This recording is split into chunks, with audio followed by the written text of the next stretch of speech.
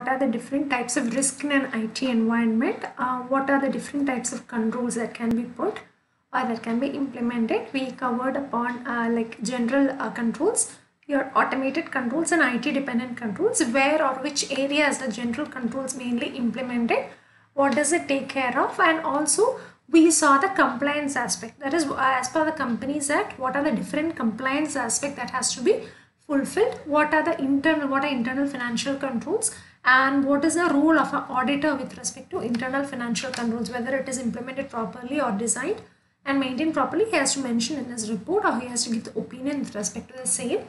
And also we uh, broadly saw the framework like starting from the risk assessment evaluation and analysis of that evaluation of the risk and then uh, uh, finding out the operating effectiveness checking the operating effectiveness of that and finally reporting so the now last part of this particular chapter that is audit in an automated environment, we'll see what is the data analytics, what is the use of data analytics in audit and what are the different kinds of data analytics tools and how it is being done. So broadly, uh, whenever, like say for example, I need certain information, uh, any company, let it not be for audit purpose alone, any company, like say for example, I'm making an e-commerce company for example, it wants to analyze say for example the total sales that happened on a particular day of the month. Say today it is 10th august. On 10th august after 3 o'clock uh, pertaining to a particular locality in chennai say for example Chinagar in chennai. So i want the total list of sales or total sales that happened in a particular locality. I mean total sales that has happened in that particular company uh, on this particular day after 3 o'clock and within a particular locality in Chennai. I want to see how much has the sales being contributed by the particular population in Nagar alone on that particular day. Now, this is not a blank information. I cannot get readily get these kind of information from the uh, by seeing the financials of now. I have to utilize the data whatever is being obtained from the financials whatever is the data say for example the total turnover the total geography wise turnover and again specifically state wise turnover, place wise turnover and on a particular date on a particular time. Now this much of data I have to drill down. I cannot directly get the data at one instant. So for in order to obtain meaningful information, so this information if I know what is the total sales that is made because a new product was launched today after 3 o'clock and I want to see how much is the total customer base at a particular locality. I want to see whether I want to introduce the product more quantities of that product in that particular area or like how much should be the stock that should be held in the company. I want to also calculate the stock holding. So I want some data out of this. Now for this kind of data, I'll get only by drilling down. It is not readily available. I have to get the reports. I have to understand the reports. I have to get few various operations I have to perform on the data and then only I can derive such specific information. And this specific information, by using this, I can take better or informed decisions. Now, in order to arrive at these kind of information, I'm using a combination of tools. I'm using a combination of tools or maybe a combination of process and in order to tap this vast amount of data that is lying in the particular system. So I want to use some kind of tools or processes to tap these large volumes of data and the main reason why I want to tap these large volumes of data is to arrive at some kind of meaningful information so that the management can take informed decisions this kind of tools or this kind of processes or this kind of techniques which is used for tapping vast amount of electronic data to obtain this meaningful information these are called as data analytics tools. So basically these data analytics tools are mainly used in the testing of electronic records or the data that is present in the information system so that I can get more information for the efficient operation of the particular business and to achieve the goals on a effective manner. Now, I said there are set of tools and processes and techniques that is used uh, for tapping this vast amount of data. Now, this process is called as data analytics. Now, what are the tools or whatever techniques I use in order to apply the principles of data analytics? That is, in order to tap large volumes of data, in order to get the required reports, in order to drill down and to take informed decisions. Now, what are the tools I use? There is a combination of tools and processes and techniques that I use. These tools and combination of techniques which are used in order to apply the principles of data analytics, these tools are called as CAAT tools or computer assisted audit techniques. So CAAT tools, uh, it actually provides a platform wherein I need not do the testing on the live or production environment. I told you what is a production. That means once the development is done, I do the testing. The user is also doing a part of testing, user acceptance testing. I do all the design and development analysis, testing, user acceptance testing, every testing is done. Now I finally implement so that the user can use the system. Say I made an app for a particular client. Now the app is so ready that it has been developed completely and tested fully. Now the particular user can use the app. Now this particular point or this position is called as a go live or production environment that he can actually use the app for his day-to-day real-time business activities. Now, whenever this particular production system is there, I cannot test on the production system. You are not allowed to test on the production system. Any kind of data only before production I need to say. So when the user is using the production system, the uh, uh, entity or the service provider he needs to make sure that all the testing is done in a kind of platform that is similar to a production environment, but it is not a production environment, something similar to a production environment so that he can find out where, what are the weaknesses or what are the material control weaknesses or what are the things that he needs to improve. This kind of platforms, these kind of tools or techniques which the auditor uses, these all come together where we cannot do in the production system but they forms as a platform or a dummy version where I can perform all these stuff. These are called as computer-aided audit techniques. Now, what are the benefits? I told you by analysis. What happens in the example I gave you itself? He is analyzing, the company is analyzing the total sales from that particular locality in Chennai after it introduces a product by noon on a particular day. Now what happens by doing such kind of an analysis or by using such kind of a information what happens? It will come to a conclusion whether that particular product is profitable or not whether it needs to introduce or increase the production of that particular product or manufacture of that particular product and also give. So what happens is automatically when the turnover or when the sale of that product is higher the company will increase the production or manufacture of that particular product. As a result of which what happens? It will cater to the needs of a large more customers. As a result, indirectly, it will increase a better customer service. It will give rise to better customer service in one hand. Then what? Since other companies are not much aware of this fact or they are not using this data analytics techniques or they are not giving obtaining knowledge from the obtained information that you have obtained through data analytics, there is always a competitive advantage. Always a competitor, you are ahead of your competitors because you know which product sells in which locality at what particular time and by which uh, budget range or what is the financial capability of the people who buy that product. So you can design the product accordingly and you can market the same thing at the right time. So what happens is your customer base increases your client customer service increases your competitive advantage increases and finally what happens? Your efficiency increases and finally what happens your revenue or your profitability increases. That is the one thing. If you are doing a business, it should give you money, right? So finally, your profitability or your earnings increases or the total performance of the company as a whole also increases. So this is what data analytics is all about. What are the advantages of data analytics? Now, where is it used? Where is data analytics used? So now, whenever we take the data, we normally it is done on a like say we have to check whether the source data is reliable or not. So when the source data itself is not reliable, we already saw one of the risks, there is inaccurate processing of data or processing inaccurate data. When source data is wrong, what happens? Whatever is processed is also wrong because it is processing of inaccurate data. So what happens? I have to check in the beginning whether data is complete, accurate and reliable. So one of the uses of data analytics is to check the completeness of data. I do a number of processes. I extract the data, transform something and I work on whether the data is complete in all aspects. Sometimes this data, whatever I am taking, sometimes I may not take the entire data. I might take only a portion of the data. I may sample a portion. I might take a small portion of the data which represents the entire population. I may do sampling, random or systematic sampling, right? So now again for selection of audit sample, this becomes vital. So it's not just for completion of data but also for selection of samples. Now again I want to recompute the balances. From some transactions I want to build up the trial balance. So again your data analytics comes into picture. Then analysis of journal entries, whether the journal entries are correctly entered, all transactions are captured, whether these entries are being posted into the subledger, subledger to general ledger, trial balance, again, analysis of journal entries.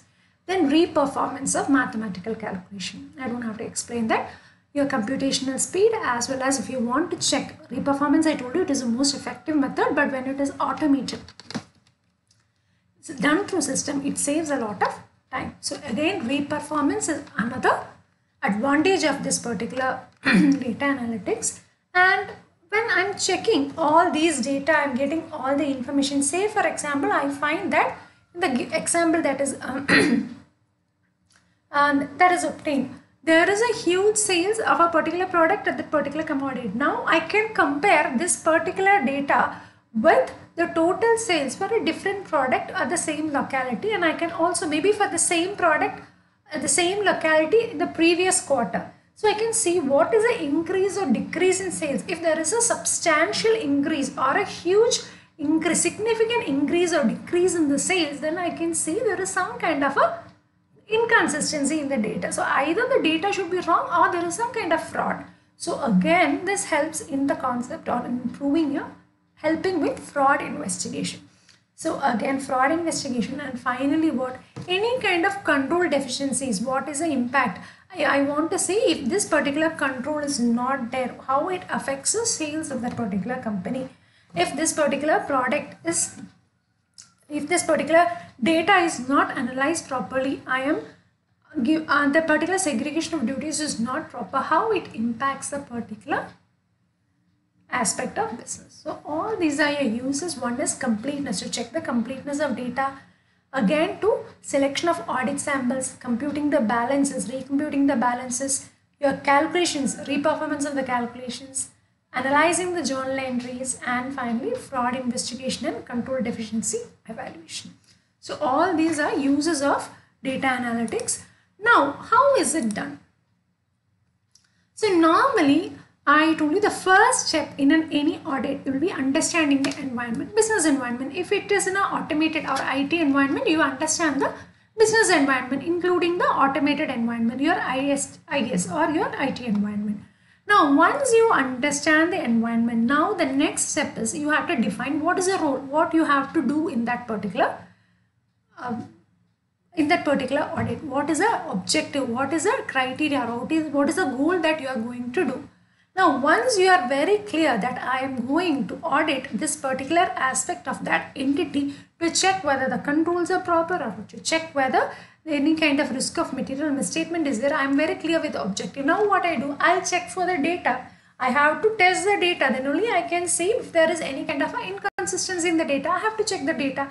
Now, Firstly, I have to make sure the data is correct. Before I check whether the system is processing the data correctly, I need to check whether the data itself is accurate and complete in all aspects. So now I have to identify from where the data is coming, where who is initiating that invoices, where from where the invoices are coming, what kind of receipts and all these things I have to analyze. I have to identify the source of data, what format the data is being entered into the system Say if it is a numerical value, I need to make sure that the system takes data only in that particular format. So whether there is any kind of a input validation checks, that is an inaccurate format of data or wrong data is being fed into the system, I have to make sure that. So I have to identify the source and also I have to identify the format of data. What is it? Once I identify the data, I know this is the data, this is the format it should be. What I have to do, I have to extract the data. I'll take the data, make sure that it is there in the system. I'll extract the data from one system to another. It should be files, it can be notepad, it can be Excel, it can be ERP, it can be database. From anywhere, the data, I have to check the accuracy and it is extracted. Now, in the process of extraction I'll check whether it is complete and accuracy. Now what happens? I have some criteria. Say for example, in the sales of that particular product in the locality in Chennai at the particular time, I'll apply the criteria. I'll make sure that this criteria, I want the data for this product wise, for the particular product ID at this particular geography wise, that is India, in that state wise, Chennai, in that again locality wise, then at what date, at what date I need and at what time I need. So all these criteria I apply. I apply all the criteria and I get the result. Once it processes, I get the result. So what happens? Once I get the results, I validate that. I see, I get the validate, I confirm the results and finally what I'll do? I'll get some kind of information or knowledge which I use for reporting and documentation. I'll document the results and I'll also use for reporting. Clear? So this is how your data analytics, how data analytics is useful for audit. What are the different types of, what is data analytics, what is computer aided audit techniques, what are the different benefits, what are the uses of that, how it is being done. Now, finally, we saw the risk, we saw the controls, we saw the impact of risk, we saw the different types of controls, we understood the environment. From the beginning, we understood what are the benefits of e, uh, automated environment. Then we saw what are the things the auditor should check whenever he goes to a particular uh, audit in an automated environment what under, for understanding the particular environment then what are the different types of risk in that environment? Uh, what are the impact of those risk in auditing? Then we saw what controls different types general application it dependent controls. And finally what are where are the places the general controls are effective or whether they have to be implemented? Because they support both application as well as it dependent controls. Then we saw what the compliance or regulatory aspects. Why I have to implement all this. What is the meaning of internal financial control? And then we saw what, what are the regulatory requirements as per the Companies Act and then what is the general framework by risk starting from risk assessment evaluation then checking the effectiveness operating effectiveness of controls and finally reporting and then we saw what is data analytics data analytics, what are the uses of data analytics and what is, how is it done.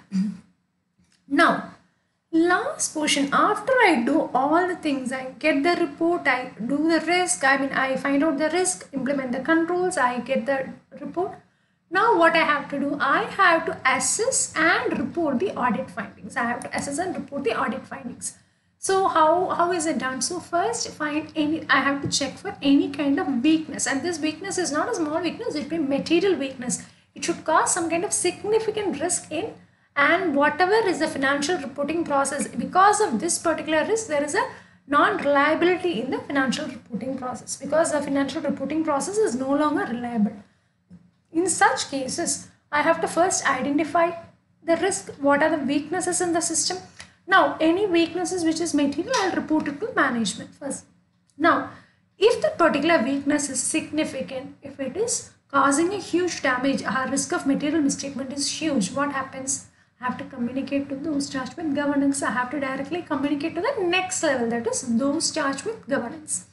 Now, while I'm communicating to the management, through what I'll communicate?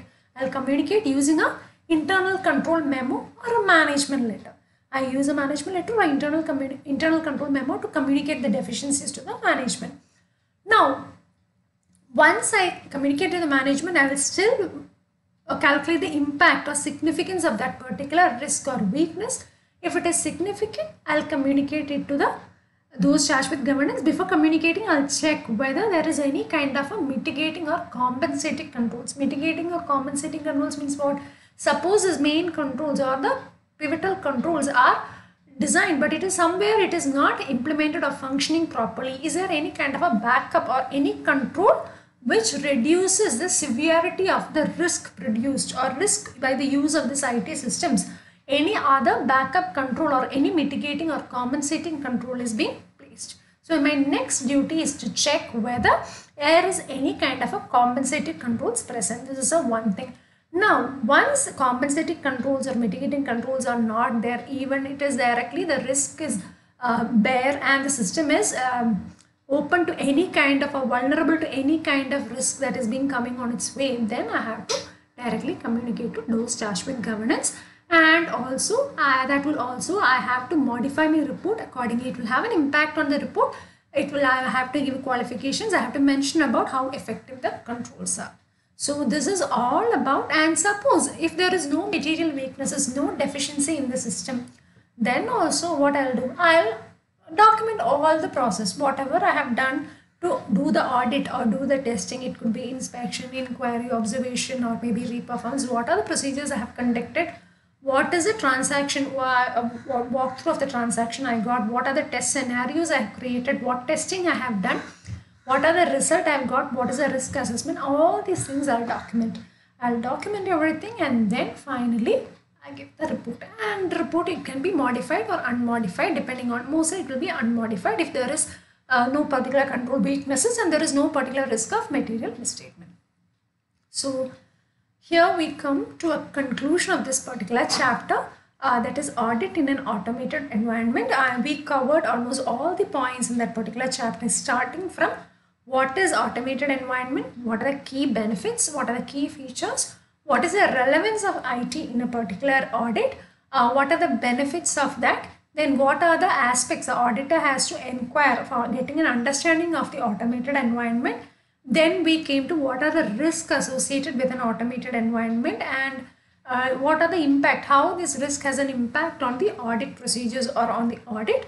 And finally, we saw once the risk is covered, we saw what are the controls that has to be put in place. What are the controls, general, application and IT dependent controls. Then we came to compliance aspect. What is the compliance aspect required as per the Companies Act? What is internal financial controls? and as per internal financial controls what are the things that has to be reported as per companies act then what is the general framework and then we saw what is data analytics its uses and how it is done and finally we saw how to assess and report the findings so we'll see in the next session uh, with another topic. Uh, i hope it was useful for you